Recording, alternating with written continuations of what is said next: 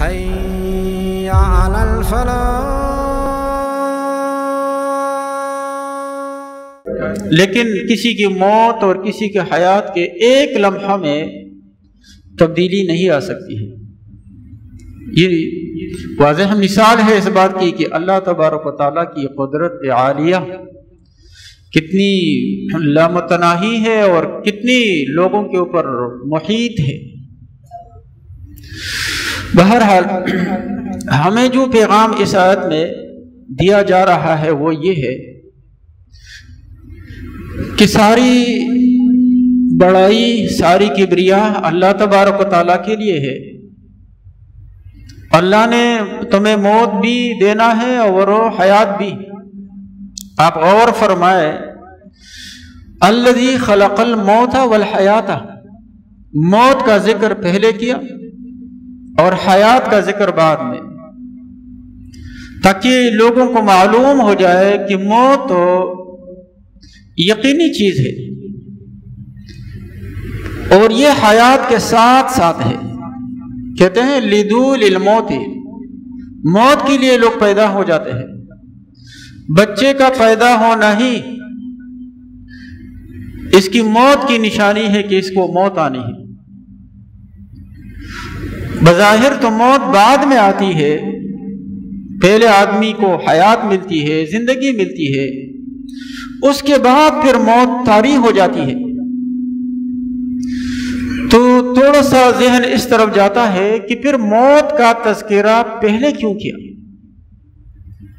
بظاہر تو یوں ہونا چاہیے تھا الذي خلق الحیات والموت۔ جو چیز پہلے آتی ہے، اس کا ذکر پہلے ہونا چاہیے۔ جو چیز بعد میں آتی ہے، اس کا تذکرہ بعد میں ہونا چاہیے۔ لیکن بلاغت کا ایک اصول ہے، کسی چیز کی اہمیت بتانا ہو، کسی چیز میں کوئی اہم نقطہ ہو، اس نقطے کو اجاگر کرنا ہو، تو اس کا تذکرہ پہلے کیا جاتا ہے۔ اللہ تبارک و تعالیٰ فرماتے ہیں، میراث کے بارے میں، میراث کے احکام اللہ نے بیان فرمایا ہے سورہ نساء میں۔ کہ میت کے میراث کو آپ کیسے تقسیم کریں گے؟ اس میں فلاں کا کتنا حق ہے، فلاں کا کتنا حق ہے، اولاد کا حق کیا ہے، ماں باپ کا حق کیا ہے، بہن بھائیوں کا حق کیا ہے، بیوی کا حق کیا ہے، بیوی کے مال میں شوہر کا حق کیا ہے؟ تو اس میں کیا فرمایا؟ ممباد وسیعت توسون بہا او دین۔ یہ تقسیمات وسیعت کے اور دیون کے قرضوں کی ادائیگی کے بعد ہوں گی۔ علماء لکھتے ہیں کہ قرضے پہلے ادا کیے جاتے ہیں۔ جب کسی کا انتقال ہوتا ہے، مسئلہ یہ ہے، سب سے پہلے اس کے کل مال میں سے جو کچھ اس نے چھوڑا ہے، اس کی تکفین اور تجہیز کے اخراجات منہا کیے جائیں گے۔ جتنا بھی خرچہ آتا ہے، وہ اس کے مال میں سے دیا جائے گا۔ اس میں کسی وارث کا حق نہیں ہے۔ جب وہ تکفین اور تجہیز کا عمل مکمل ہو جائے، اس کے بعد لوگوں کے قرضے ہیں۔ کل مال میں سے وہ قرضے ادا کیے جائیں گے۔ جتنے بھی قرضے ہوں، سارا مال ختم ہو جائے تو اس کی پرواہ نہیں کی جائے گی۔ قرضے دیے جائیں گے۔ کسی وارث کو ایک پائی ایک ٹکا بھی نہیں دیا جائے۔ گا قرضے سارے ختم ہو گئے۔ اب جو بچا ہوا مال ہے، اس کو تقسیم کیا جائے گا۔ لیکن اگر میت نے وسیعت کی ہے، تو ایک تہائی مال تک اس کی وسیعت کے مطابق اسے الگ کر کے جس مت میں اس نے وسیعت کی ہے، اگر وہ مت جائز ہے، تو اس میں وہ مال خرچ کر کے ماں بقیہ جو بچ جاتا ہے وہ ورثہ میں تقسیم ہوگا۔ اب یہ ترتیب ہے۔ لیکن قرآن میں کیا ہے؟ ممباد وسیعت تو سو بہا یا یو سو بہا اودین وسیعت کے بعد اور اگر قرضے ہیں تو ان کے بعد تم تقسیم کرو گے۔ حالانکہ جو میں نے ترتیب بتائی، جو سنت کی اور حدیث کے اور اجماع امت کے مطابق طریقہ کار ہے، وہ یہ ہے کہ تکفین، تجہیز کے بعد دیون ہے، قرضوں کی ادائیگی ہے، اس کے بعد وصیت ہے۔ آیت میں کیا ہے؟ ممباد وسیعت تو سو نبیہ او اس کی وجہ یہ علماء بیان فرماتے ہیں کہ چونکہ لوگ وسیعت کی پرواہ نہیں کرتے ہیں وسیعت پہ بعض لوگ خاموش ہو جاتے ہیں، بعض لوگ نظر انداز کرتے ہیں، بعض لوگ اس پہ عمل نہیں کرتے ہیں۔ تو اللہ نے اس کی اہمیت اجاگر کرنے کے لیے میم باد وسیعت تو سونا بہا اودیر وسیعت کو مقدم کیا کہ یہ معمولی چیز نہیں ہے۔ یہ میت کا حق ہے اور بہر حال اس کو ادا کرنا ہے۔ حتیٰ کہ اس کو قرضوں پہ بھی مقدم ذکر کیا۔ اگرچہ عملاً وہ مؤخر ہے۔ تو یہاں بھی عملاً صورت حال اس طرح ہے کہ پہلے زندگی ملتی ہے، اس کے بعد موت ہو۔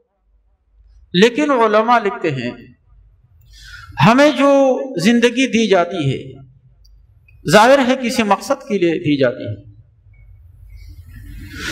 لیکن زندگی سے ہم سبق نہیں سیکھتے ہیں۔ تو موت کو پہلے ذکر کیا کہ موت کو سامنے رکھو، اس سے سبق سیکھو۔ اسی لیے فرمایا الزی خلق الموت والحیات۔ جس نے موت کو پیدا کیا، تو پہلے انسان کے پیش نظر موت ہونے چاہیے۔ اسی لیے حدیث شریف میں آتا ہے کہ تم حازم اللذات کو اور ایک روایت میں حادم اللذات کو کثرت سے یاد کیا کرو۔ حادم اللذات یا حازم اللذات یعنی کہ مزوں کی بےخنی کرنے والی چیز لذتوں کو مٹانے والی چیز، ختم کرنے والی چیز کو بکثرت یاد کرو۔ کون سی ایسی چیز ہے کہ جس سے ہمارے مزے مٹ جاتے ہیں؟ ہماری خواہشات ختم ہو جاتی ہے، ہماری لذتیں ختم ہو جاتی ہے۔ موت ہے۔ موت آ گئی، ایک کڑوا گھونٹ ہے۔ جو ہر آدمی کو پی، پینا ہے، گلے سے اتارنا ہے، اس سے ہر قسم کی لذت ہے تمام قسم کی مزے ختم ہو جاتے ہیں۔ کس نے کیا کیا ہے زندگی میں؟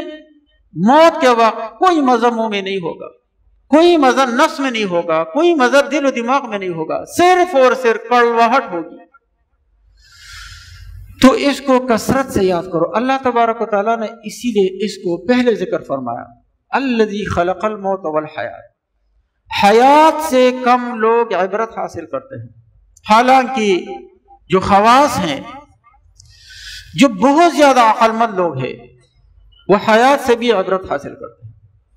کیونکہ وہ یہ سمجھتے ہیں، دو چیزیں ایسی ہیں جو ہمیں بہت عزیز ہیں، بہت ہمیں پسند ہے نمبر ایک، صحت۔ نمبر دو، زندگی۔ ہر آدمی چاہتا ہے کہ میں صحت مند رہوں۔ ہر آدمی چاہتا ہے میں زندہ رہوں۔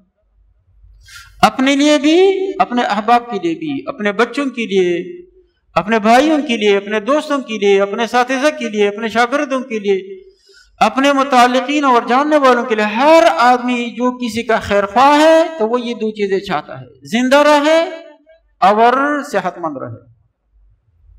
آپ دیکھیں آج دنیا میں، ہمارے اس پاکستان میں خاص کر کے، میرا خیال یہ ہے کہ سب سے زیادہ معزز پیشہ ڈاکٹر کا پیشہ ہے۔ لوگ بچپن سے اپنے بچوں کو ڈاکٹر کے نام سے پکارتے ہیں۔ کیا بنو گے؟ ڈاکٹر بنو گا۔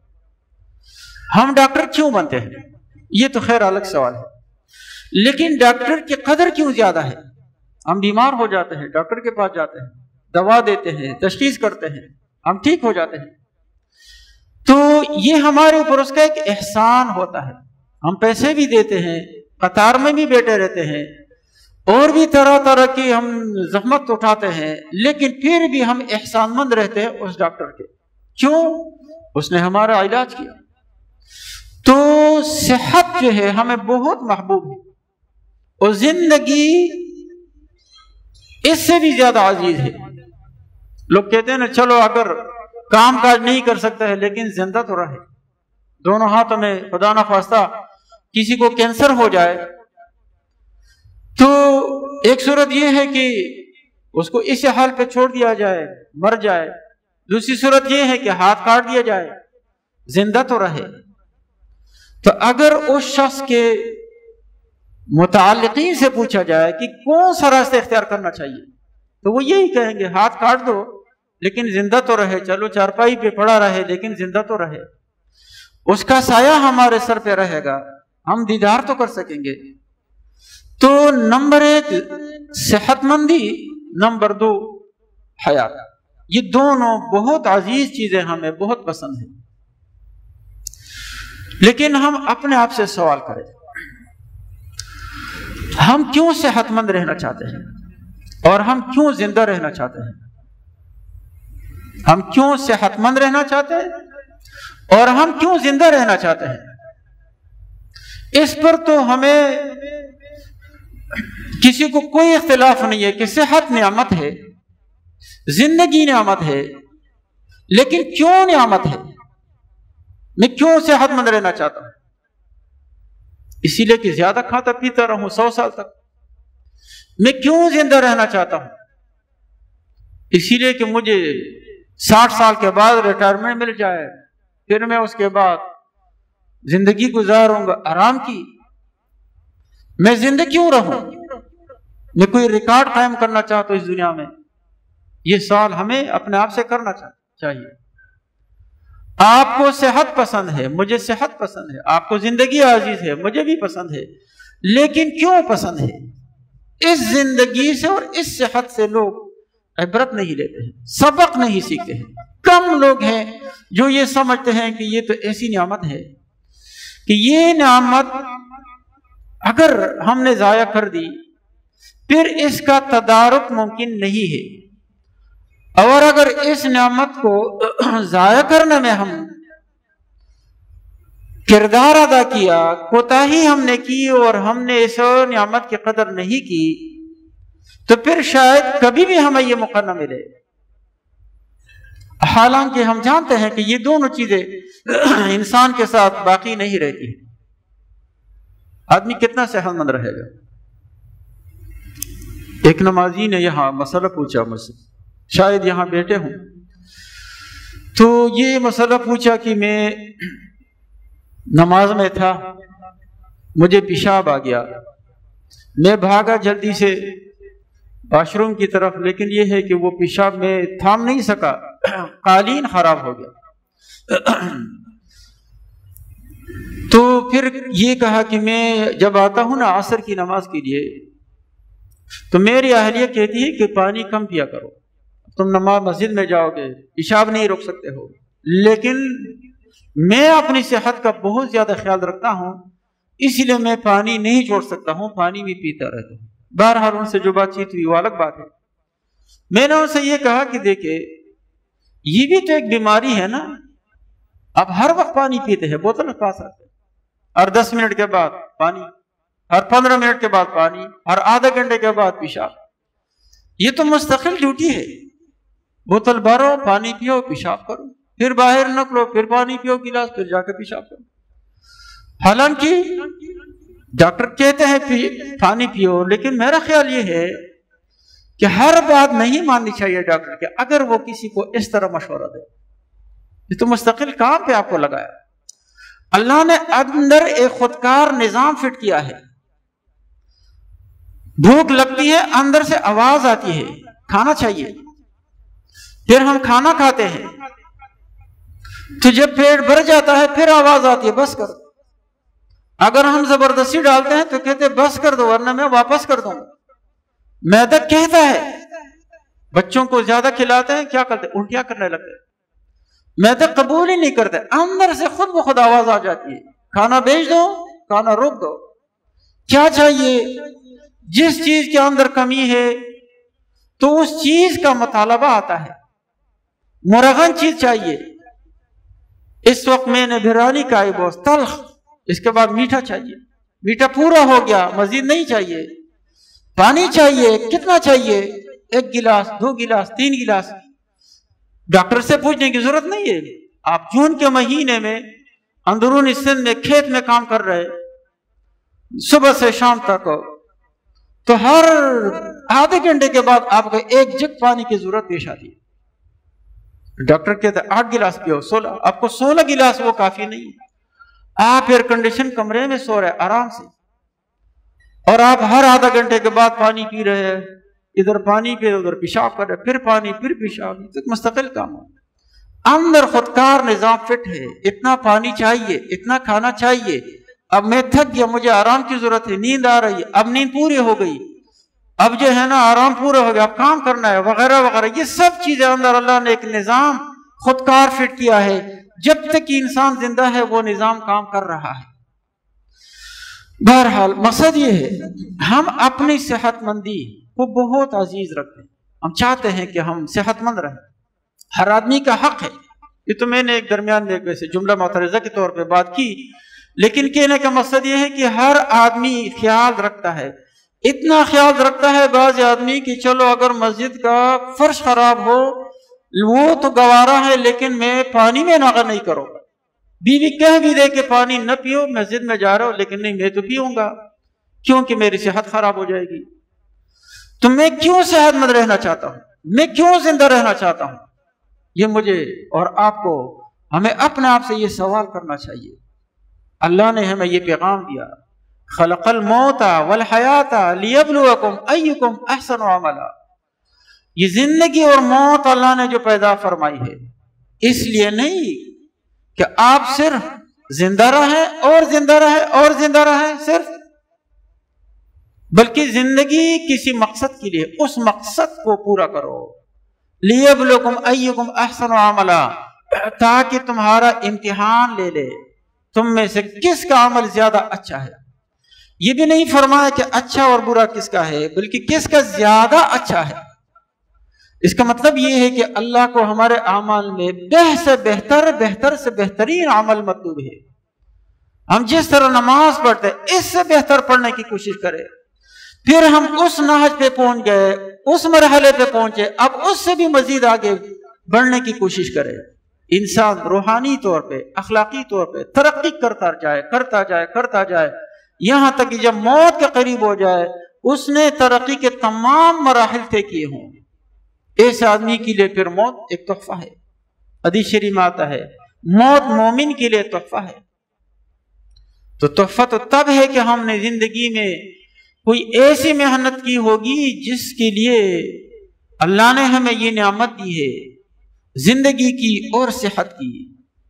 اسی لیے فرماتے ہیں کہ بیماری سے پہلے صحت کو غنیمت جانو۔ بیماری آ گئی، پھر ہم نہیں بیٹھ سکتے ہیں۔ نماز کھڑے ہو کر کے نہیں پڑھ سکتے ہیں۔ بیٹھ کے بھی نہیں پڑھ سکتے۔ بہت سارے ایسے لوگ ہیں، وضو نہیں کر سکتے۔ بہت سارے ایسے لوگ ہیں، استنجا نہیں کر سکتے ہیں۔ ہاں کسی دارالفتا سے آپ کا اگر واسطہ پڑ جائے، ایسے مسائل آتے ہیں، آدمی کو فالج ہو گیا، استنجا کرنے والا کوئی نہیں ہے، نماز کیسے پڑھے؟ گا اب پڑھنا چاہتا ہے کیونکہ اللہ کے پاس جانا ہے۔ کیسے پڑھے؟ جب صحت تھی، استنجا کر سکتا تھا، نہیں کرتا تھا۔ جب وضو کر سکتا تھا، نہیں کرتا تھا۔ اب خیال تو آیا، لیکن وہ موقع نہیں ہے۔ دوسرے تیار نہیں ہے بچے وضو نہیں کراتے ہیں۔ بھی وضو نہیں کراتی، آدمی کیسے نماز پڑھے؟ بیٹھ نہیں سکتا ہے، کیسے نماز پڑھے؟ اسی لیے اللہ نے خلق الموت، موت کو پہلے ذکر کیا، حیات سے تمہیں اگر سبق نہیں ملتا، موت سے سبق سیکھو۔ ہر پھل پہ، ہر قدم پہ موت کو سامنے رکھو، اللہ کے سامنے جانا ہے۔ اسی لیے حدیث شریف میں آتا ہے قیامت کے دن کسی آدمی کے قدم اس وقت تک اپنی جگہ سے ہل نہیں پائیں گے جب تک کہ اسے چند سوالات نہ ہو جائے۔ ایک سوال یہ ہے کہ زندگی کس چیز میں خرچ کر دی؟ ایک سوال یہ ہے کہ جوانی کس چیز میں خرچ کر دی؟ مال کہاں سے کمایا؟ مال کہاں لگایا؟ تو جوانی کے متعلق سوال کا مطلب یہ ہے میں نے تمہیں قوت دی تھی، میں نے تمہیں جوانی دی تھی۔ اس صحت کی کیا قدر کی ہے؟ اس کو تم نے کس چیز میں استعمال کیا۔ بات سمجھ آ رہی؟ یہ دو ایسی نعمتیں ہیں کہ جو مسلم نعمتیں ہیں۔ کوئی ہم میں سے اس میں اختلاف نہیں کرتا۔ ہر ایک مانتا ہے نعمت۔ لیکن ہم اس حقیقت کو نظر انداز کرتے ہیں۔ ہم کیا کرتے ہیں؟ زندگی ہم خرچ کرتے ہیں۔ ایک ایسی چیز پر جو ہمارا ساتھ دینے والی نہیں ہے۔ بہت سارے لوگ ہیں۔ یہاں بھی بہت سارے حضرات ہوں گے۔ میرے پاس فرصت نہیں ہے۔ میرے پاس ٹائم نہیں ہے۔ نماز پڑھ سکو۔ نماز کے لیے میرے پاس وقت نہیں ہے۔ نماز کے لیے کیوں وقت نہیں ہے؟ میں اتنا مصروف ہوں۔ کام اتنا زیادہ ہوتا ہے کہ اگر میں نماز کے لیے وقت دے دوں تو میرا کام خراب ہو جائے گا۔ میرے بھائیوں سوچنے کی بات ہے، آپ کے وقت کی قیمت زیادہ ہے یا آپ کے اس کام کی قیمت زیادہ ہے؟ ہم ایک سرمایہ، ایک کام میں خرچ کرتے ہیں، لگاتے ہیں، اگر ہمارا سرمایہ زیادہ جا رہا ہے، اس کی قیمت زیادہ ہے اور ہمیں جو نفع مل رہا ہے وہ نفع کم ہے۔ تو اس طرح کی تجارت یہ کوئی قابل تعریف تجارت نہیں ہے۔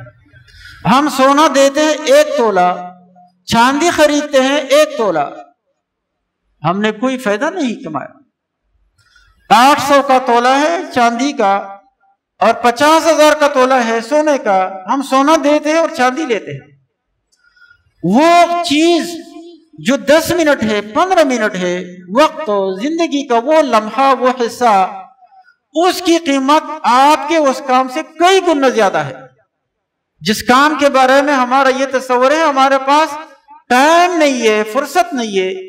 ہم ٹائم نہیں دے سکتے ہیں مسجد کو، ہم ٹائم نہیں دے سکتے ہیں نماز کو۔ تو ہمیں یہ سوچنا چاہیے کہ ہم نے یہ وقت جس کام میں لگایا آیا اس کام کی قدر زیادہ ہے یا دس منٹ کی قدر زیادہ ہے؟ یہ بات قابل قور ہے۔ میرا خیال یہ ہے، اگر ہم اس طرح کریں کہ ہم وقت پر مال کو قربان کرے یہ زیادہ دانش مندانہ فیصلہ ہوگا بمقابلہ اس کے کہ ہم وقت کو مال پہ قربان کریں۔ ہم جو یہ وقت نماز کا اپنے کام میں دیتے ہیں، اس پر قربان کرتے ہیں۔ اگر ہم اپنے مال میں سے، دولت میں سے پانچ فیصد یا ڈھائی فیصد حصہ بھی اس وقت پہ قربان کرے، ہمیں کتنا فنافع ہوتا ہے۔ کسی کو پچاس ہزار یومیہ، کسی کو دس ہزار یومیہ، کسی کو ایک ہزار یومیہ، کسی کو پانچ ہزار یومیہ اگر ہم اس تناسب سے یہ نقصان برداشت کرے کہ ڈھائی فیصد چلو ہم نقصان اٹھاتے ہیں، مال کا کم کمائیں گے۔ لیکن وہ ڈھائی فیصد کا وقت جو ہے ہم دیتے ہیں نماز کو۔ تو میرا خیال یہ ہے کہ یہ سسٹم بڑا صحیح ہے۔ اس میں کسی پچھتاوے کا انشاءاللہ وقت نہیں آئے گا، موقع نہیں آئے گا۔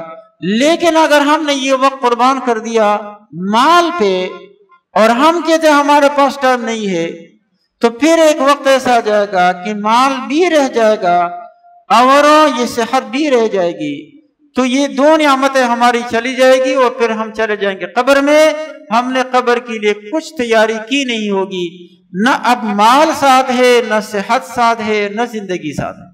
کوئی چیز ساتھ نہیں دے رہے۔ وہ بڑی نعمتیں ہم نے ضائع کر دی اور اتنی ضائع کر دی۔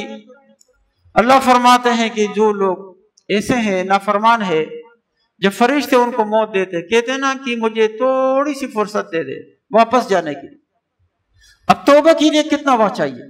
توبہ کے لیے تو ایک سیکنڈ بھی کافی ہے۔ ایک سیکنڈ ہمیں دے دے، مثلا۔ چلو ایک منٹ ایک منٹ ہمیں دے دے۔ ہم اب جا کر کے کیا کرتے تصدیق کرتے ہیں یا اپنا مال صدقہ کرتے ہیں؟ نہیں۔ یہ وقت اب تو میں واپس نہیں ملے گا۔ تو میرے بھائیوں، میرے دوستوں، یہ ایک اہم حقیقت ہے۔ اس حقیقت کے اندر ایک اور حقیقت ہے، وہ بھی قابل ذکر ہے۔ علماء لکھتے ہیں، عالم کی نیند یہ عابد کی عبادت گزار کی عبادت سے بہتر ہے۔ عالم کی نیند بھی عبادت ہے۔ اس کی وجہ کیا ہے؟ اس کی وجہ یہ ہے کہ اگر آدمی عالم الدین ہے، درس تدریس کرتا ہے، قرآن پڑھاتا ہے، سنت پڑھاتا ہے، فقہ پڑھاتا ہے تعلیف اور تصنیف کرتا ہے، تھک جاتا ہے، آرام کرتا ہے، تاکہ میں تازہ دم ہو جاؤں۔ تو جب وہ آرام کرتا ہے، اس غرض سے کہ میں اپنا کام بہتر طریقے سے کر سکوں۔ یہ نیند اب عین عبادت ہے۔ حتیٰ کہ اس عالم کی یہ نیند دوسرے عام آدمی کی نماز سے، تلاوت سے افضل ہے، اس کا ثواب زیادہ ہے۔ وجہ اس کی یہ ہے کہ جو چیز بین القوسین ہوتی ہے نا، وہ اگلے پچھلے کی تشریح ہوتی ہے، اس کا حصہ ہے۔ ہم مضمون لکھتے ہیں، کسی لفظ کی شرح ہم نے بریکٹ کے اندر کر لی۔ اب یہ کوئی غیر چیز نہیں ہے، یہ اس کا حصہ ہے۔ تو جو وقت ہم نے عبادت میں لگایا، ہم رات کو نماز پڑھتے ہیں تحجد کی مثلا نوافل پڑھ رہے ہیں، تلاوت کر رہے ہیں۔ ہمیں نیند آ گئی۔ اب ہم سے وہ نماز صحیح نہیں ادا کی جا، ہو رہی ہے۔ ہم سو گئے تھوڑا سا، ہم چائے پیتے ہیں تھوڑی سی، کہ ہم تازہ دم ہو جائے۔ یہ کام عین عبادت ہے، یہ نماز کے حکم میں ہے۔ اسی لیے فرماتے ہیں، حدیث شریف آتا ہے، جو آدمی ایک معمول کے مطابق عبادت کرتا ہے، وہ بیمار ہو جائے، اس عبادت سے قاصر ہو جائے۔ ہاں جیسے نوافل ایک آدمی روزانہ یا ہر دوسرے تیسرے دن روزہ رکھتا ہے، اب بیمار ہو گیا، وہ روزہ نہیں رکھ سکتا ہے۔ تو اس کو بیماری میں وہ ثواب مسلسل ملتا رہے گا۔ بین القوسین کا یہ ضابطہ ہے۔ حدیث آتا ہے، جس نے عشاء کی نماز پڑھی، اس نے گویا آدھی رات تک نماز پڑھی۔ جس نے فجر کی نماز با جماعت پڑھی، اس نے گویا کہ آدھی رات نماز پڑھی۔ یہ بین القوسین شروع میں نماز، آخر میں نماز۔ عشاء کی نماز پڑھ لی، اس نیت سے سو گیا، فجر کی نماز با جماعت پڑھوں گا۔ یہ نیند اب نماز کا حصہ ہے۔ عشاء میں آدھی رات، فجر میں آدھی رات، پوری رات نمازوں میں گزر گئی۔ علماء لکھتے ہیں کہ المتخلل بین الدمین فی حکم الدم۔ ایک عورت کو ماہواری آتی ہے۔ کبھی ایسا ہوتا ہے، ایک عورت کی عادت ہے، سات دن اس کو ماہواری آتی ہے۔ مہینے میں جیسے عورتوں کی بیماری ہے طبعی لیکن کبھی کبھی ایسا بھی ہو جاتا ہے کہ اس میں بیچ میں خلل آ جاتا ہے۔ فرض کرتے ہیں بیس تاریخ سے ایک عورت کو ایک خاتون کو ماہواری آتی ہے اور ستائیس تاریخ تک رہتی ہے۔ یہ اس کا معمول ہے۔ لیکن کسی مہینے میں دو دن آ گئی۔ دو دن کے بعد پھر بیماری خون نظر نہیں آیا۔ اور پھر ساتویں دن نظر آیا تو یہ پورے سات دن ماہواری کے شمار ہوں کیوں؟ جو درمیان میں توہر ہے، جو پاکی کا وقت ہے، یہ ناپاکی میں تبدیل ہو جائے گا۔ تو اس کا مطلب یہ ہے کہ جو چیز بین القوسین ہوتی ہے، اس کا حکم اگلے پچھلے سابقہ اور لاحقہ کا ہوتا ہے۔ اگر ہم عشاء کی نماز پڑھتے ہیں اس ارادے سے سوتے ہیں، فجر کی نماز بھی پڑھیں گے باجماعت ساری رات ہماری عبادت میں چلی گئی۔ لیکن اگر ہمارا ارادہ یہ ہے، صبح اٹھتے ہیں، کام پہ جاتے ہیں، فرصت نہیں ہے، نماز نہیں پڑھ سکتے ہیں، عشاء کو آتے ہیں، ٹی وی دیکھتے ہیں، نیند آ گئی، سوتے ہیں، صبح کام پہ جانا ہے، بیچ کی رات کام میں چلی گئی۔ عبادت میں نہیں گئی، یہ آپ کے کام کا حصہ ہے۔ یہ بین القوسین ہے۔ کام پہ ختم کیا، کام شروع کیا۔ دن ختم ہوا کام پہ، دن شروع ہوا کام پہ۔ رات درمیان میں رات جو ہے نا وہ دنیا کا کام جو حکم آپ کے کام کا ہے۔ غلط کام کرتا ہے کوئی گناہ کا تو رات گناہ میں گزر گئی۔ مباح کام کرتا ہے، جائز کاروبار کرتا ہے، تو وہ رات میں، نیند میں نہ ثواب ہے نہ گناہ ہے۔ اگر گناہ کے کام پہ دن کا اختتام کرتے ہیں، گناہ کے کام سے دن کا آغاز کرتے ہیں، سودی کاروبار کرتے ہیں۔ کوئی عورت چور ہے، کوئی ڈاکو ہے، کوئی کچھ بھی ہے، جس کا جو دھندا ہے اس کی رات اور اس کی نیند تو وہی حکم ہے جو اس کے جاگتے ہوئے معمولات کا ہے۔ اگر وہ عبادت گزار ہے، سوتا ہے، نیند عبادت ہے۔ وہ چور ہے، نیند آ گئی، آرام کے لیے سو گیا، وہ نیند اس کی چوری ہے۔ جو جائز کام کرتا ہے اور سو گیا رات کو، ساری رات اس کی ایک جائز، ایک مباح مباح اس کو کہتے ہیں کہ نہ اس میں گناہ ہے، نہ اس میں ثواب ہے۔ میرے بھائیو، ہم اپنی زندگی کو عبادت بنا سکتے اپنی نیند کو اپنے ارادے سے اور مختصر عمل سے۔ ہم نماز پڑھ لے، نماز کے لیے ہم ٹائم نکالے، ہم فرصت نکالے۔ تو ہمارے جو جائز کام ہے نا، ہم وہ کام اسی لیے کرتے ہیں کہ اس کے بغیر تو چارہ نہیں ہے۔ یہ تو ضرورت ہے، کپڑے نہیں پہنیں گے تو نماز کیسے پڑھیں گے؟ پیسے نہیں ہوں گے تو مسجد کیسے بنائیں گے؟ پیسے نہیں ہوں گے تو ہم بچوں کے حقوق کیسے ادا کریں گے؟ دوسرے مالی حقوق کیسے ادا کریں گے؟ یہ بھی اہم ہے۔ لیکن اس کو اتنی اہمیت کو اس کے لیے ہم نماز پڑھنے کا وقت نہ نکال سکے یہ کوئی دانش مندی نہیں ہے۔ تو اللہ تبارک و تعالیٰ سے دعا ہے کہ ہمیں سمجھنے کی اور عمل کرنے کی توفیق عطا فرمائے تاکہ ہماری زندگی جو ہے نا وہ اللہ تبارک و تعالیٰ کی مرضی کے مطابق گزر جائے۔ وآخر دعوانا الحمدللہ رب العالمین۔ حي على الفلاح.